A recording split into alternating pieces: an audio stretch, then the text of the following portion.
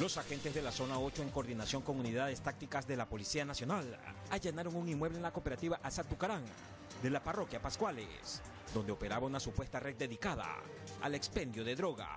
Gracias a la colaboración de la ciudadanía, se procedió a la detención de tres ciudadanos. En el operativo denominado Gata, los uniformados decomisaron 260 dosis de heroína y 45 de cocaína, entre otros objetos de dudosa procedencia. Procedían a expender sustancias que se encuentran catalogadas a fiscalización. Domicilio que se encontraba junto a una unidad educativa. Tres presuntos microtraficantes fueron capturados, dos mujeres y un hombre. Una de ellas registra antecedentes por el mismo delito.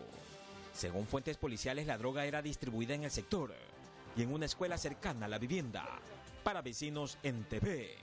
Omar Cruz Lino.